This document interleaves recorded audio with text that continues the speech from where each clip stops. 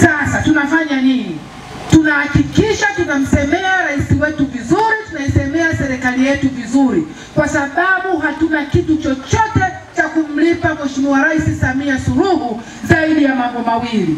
Jambo la kwanza kumwombea kwa Mwenyezi Mungu aendelee kumpa hekima na busara ili aweze kututumikia vizuri, lakini jambo la pili kuhakikisha anapata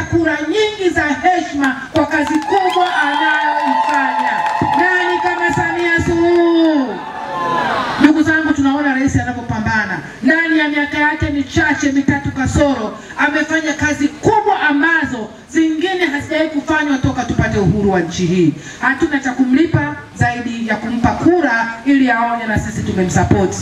Jambo la pili, makamu mwenyekiti, ambayo nataka niongee, kwanza nimpongeze mbunge wa jimbo hili kwa kazi kubwa anazozifanya na jinsi tulivyomsikia.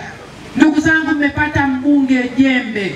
Nasema hivyo kwa nini? Mimi ni mbunge, lakini huyu mbunge mimi ni bosi wangu, kwa sababu ni mwenyekiti wa bunge letu la Jamhuri ya Muungano wa Tanzania. Ni mbunge ambaye sisi wabunge tunamtegemea kwa mambo mengi sana katika kuliongoza bunge letu. Ndio msaidizi wa spika, pia anamsaidia spika katika liongoza bunge.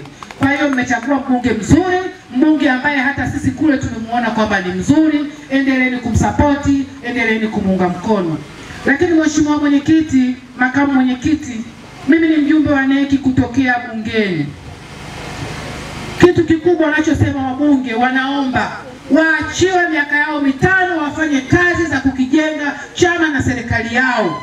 Wanaomba wasiingiliwe katika miaka yao mitano. Kanuni nasema mbunge amechaguliwa miaka mitano, mwacheni afanye kazi miaka mitano.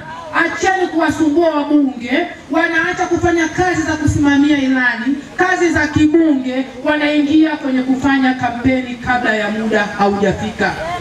Acheni wabunge wafanye kazi, muda ukifika, miaka mitano, mtawapima kwa kazi walizozifanya, mtawahukumu kwa kazi walizozifanya. Kipindi hiki acheni wafanye kazi zao, acheni wafanye kazi zao na leo hapa niko na makamu mwenyekiti wa chama chetu, wananisikia.